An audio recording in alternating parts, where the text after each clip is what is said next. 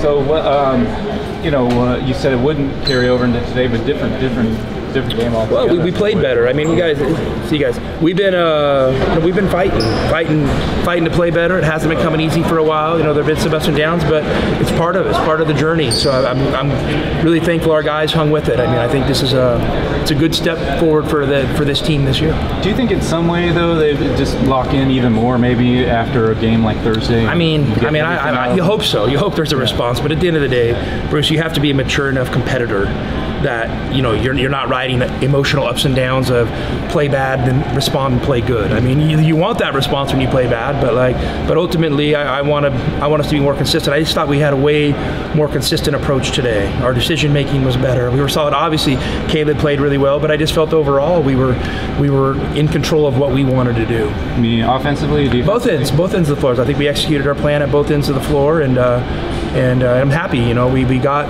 you know, we get up to these leads, these eight, ten point leads sometimes, and you know, you allow these teams to make runs back, which are going to happen some. But today, I thought we were really mature with with this handling and managing the game. The players were. Caleb kind of from the start today. I mean, looked like he, he felt it Man, from he the was start. good. He was good. I mean, he, I didn't think he was going to miss. So, you know, and, and it was beautiful. His, his, his points, I felt like were really spread out. I didn't feel like there's, you know, any. There was no like two minute explosion. You know, it was just very consistent, and he delivered on the opportunities he got. And I mean, Caleb Love's a really good basketball player. You've had some games where you've told him, "Hey, we got other guys in the score." Was this a game where you like? No, I mean, I, I, I told Caleb uh, coming out of half, I said, I think he had 20 at half. Yeah. I said, Caleb, if you score 20 points and we win, I mean that's the objective here. So just just manage the game and make good decisions. You don't you don't need to you don't need to play for a record. You don't need to you know play for any of that stuff. Just play the right way, and and, and that's what he's really been doing for us. Well, he got the arena record, so you told him not to play for any records, but he got That's the all. arena oh, oh record. that, that's all it is, really, with all the good players, only great players they've had here. 2010, though. The arena's only been here since Oh, 2010. okay, okay, So okay. the arena record. Yeah, yeah, I know. I mean, hey, for him. Yeah, he's he deserves it. End of that half, he gets the dunk. You guys get the technical. They hit the three quarters shot, and it feels like maybe the momentum's changed. But you come out and get, I think, the first four Well, or I mean, you, half. I mean, like the, the, that, those scenarios are crazy, so you can't overreact. I mean, I mean, the, the technical's tough. I mean, uh, you know, I don't know. I mean, I just it'd be nice if these kids could express themselves a little bit, and I didn't think there was anything blatant or in somebody's face. But hey, it's the, the refs. They, they have a job to do. So I mean, Scott's a good ref and, and called it how he thought it was supposed to be called. So we'll roll with it. Just you know, I just felt like the there was a couple plays around the basket at the end of the half. Like you hope you get a foul, you hope you make a layup. I mean, first make the layup, that's controllable. You hope you get a foul called, and if not, it you know the ball gets loose, and the guy I think second year in a row he's hit a half court shot on us. So crazy.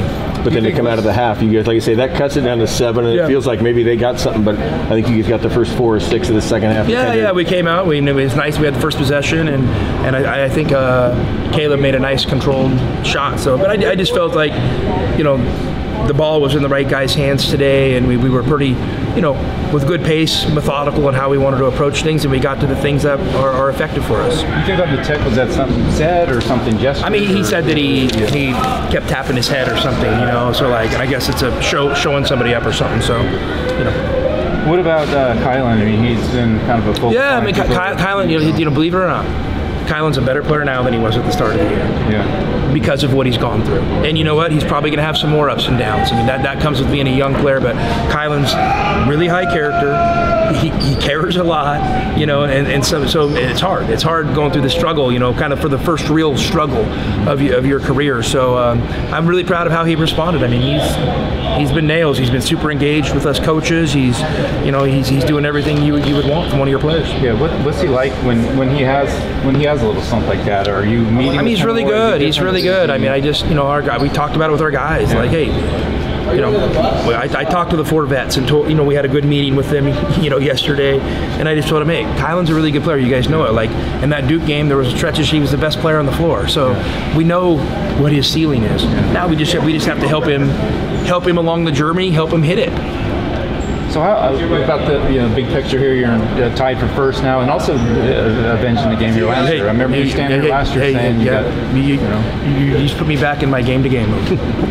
Day to day. We were hey we I don't we play what Wednesday or Thursday. Thursday. Thursday. So um, yeah, we just got we got to come out. and We got to play well Thursday. And you know, obviously, Cal is, is playing really well, and and Stanford obviously destroyed us at their place. So you know, we, Yeah. we need a good week of, of prep and, and getting better. Better. You guys still never lost back to back under you, and, and I thought maybe coming in today might be as tough as. You know what I want to do?